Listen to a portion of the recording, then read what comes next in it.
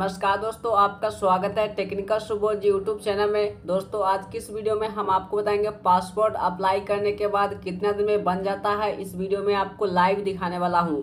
जी दोस्तों, अगर आपने नया पासपोर्ट के लिए अप्लाई किया है तो कितना दिन में बन के आपके घर पे आ जाएगा और कितना दिन तक बनता है, इस वीडियो में आपको बताने वाला हूँ। वीडियो को पूरा देखिएगा।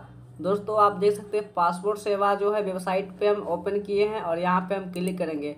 और यहीं से हम आपको लाइव दिखाएँगे दोस्तों कि कितना दिन में बन जाता है, ठीक है? तो देखिए यहाँ पे जो एक, यहाँ पे आएगा नोटिफिकेशन इसे हम कट करेंगे और यहाँ पे नीचे की तरफ़ एक ऑप्शन है ट्रैक अप्लीकेशन स्टेटस पे क्लिक करेंगे और यहाँ से हम आपको दिखाते हैं कि हमारा कितना दिन में बना है और आपका कितना दिन में आ जाएगा, ठीक है? तो वीडियो अगर आपको पसंद आता है तो लाइक कर दीजिएगा चैनल को सब्सक्राइब कीजिएगा और कमेंट करके बताइएगा, कोई भी जानकारी आपको चाहिए तो आप मुझे कमेंट कीजिएगा। और देखिए यहाँ पे लिखा है सेलेक्टेड यहाँ पे सेलेक्ट एप्लीकेशन टाइप पे क्लिक कीजिएगा और आप पासपोर्ट में कुछ भी चेक जाँच जो भी कुछ करना है तो आपको सबसे पहला नंबर पे ही सेलेक्ट करके रखना है। और अगर अगर आपको सरेंडर सर्टिफिकेट है डिप्लोमेटिक ऑफिशियल एप्लीकेशन है, ये सब अलग अलग है, होता है, लेकिन हमें तो सिर्फ़ चेक करना है और जानना है कि कितने में बनता है। अगर आपको चेक भी करना है तो यही तरीका है, ठीक है? तो इस पर हम पहले नंबर वाले ऑप्शन पे क्लिक करेंगे और सिंपली जो हमारे पास फ़ाइल नंबर जो मिला है, यानी कि पी एन करके जो नंबर होता है, और जो आपका डेट ऑफ़ बर्थ है, यहाँ पे देना है। अगर आपके पास जो है पासवर्ड अप्लाई किए हैं, और आपके पास जो रिसीविंग होता है, उसमें आपको फ़ाइल नंबर देखने को मिल जाएगा। तो फ़ाइल नंबर और डेट ऑफ़ बर्थ दे करके आपको ट्रैक पर क्लिक करना चलिए यहाँ पे हम टाइप कर लेते हैं। दोस्तों, यहाँ पे हमने जो है अपना फ़ाइल नंबर और डेट ऑफ़ बर्थ टाइप किया है। अब आप देखिए यहाँ पे ये कितना दिन में बना है, आप ध्यान से देखिएगा, ठीक है? देखिए, ये है application receive on date application जो रिसीव हुआ था, वो डेट है सोलह आठ दो हज़ार बाईस को, ठीक है? आप ध्यान से यहाँ पे देखिए, जो अप्लीकेशन अप्लाई हुआ था, यानी कि सोलह को अप्लीकेशन रिसीव हुआ था, ठीक है? तो हम इसको अप्लाई किए थे यहाँ पे देख सकते हैं सोलह तारीख है, हमने इसको अप्लाई किए थे ग्यारह तारीख को, ठीक है? और रिसीव हुआ है जो पासपोर्ट ऑफ़िस जो होता है मेन वहाँ पे रिसीव हुआ है सोलह तारीख को, ठीक है?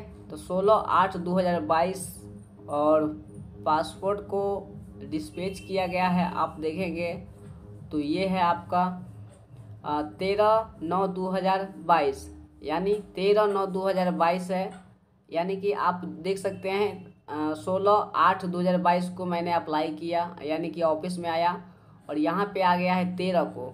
तो मान लो कि हम ग्यारह को अप्लाई किए हैं, ठीक है, तेरह को अप्लाई किए, मान लो तेरह को तीन दिन छोड़ देते हैं, ठीक है? तो तेरह तारीख को, यानी कि तेरह आठ दो हज़ार बाईस को अप्लाई किए और यहाँ पे तेरह नौ दो हज़ार बाईस को डिस्पेच कर दिया गया, यानी कि वहाँ से भेजा गया है, ठीक है? तो यहाँ पे तीस दिन के अंदर जो है पासपोर्ट बन गया है, ठीक है? और भेजा गया है तेरह तारीख को यानी कि तेरह नौ दो हज़ार बाईस को भेजा है तो ये हमारे, अगर आप ग्रामीण क्षेत्र में रहते हैं तो आपका पासपोर्ट जो है चार से पाँच दिन में आ जाएगा। अगर आप शहरी क्षेत्र में हैं तो आपको तीन से चार दिन में आ जाता है, ठीक है? तो वही चार से पाँच दिन, मान लीजिए मैक्सिमम छः सात दिन लगता है ये आने में, जो कि इंडिया पोस्ट के माध्यम से आता है। तो पासपोर्ट जो है, आपका आ जाएगा।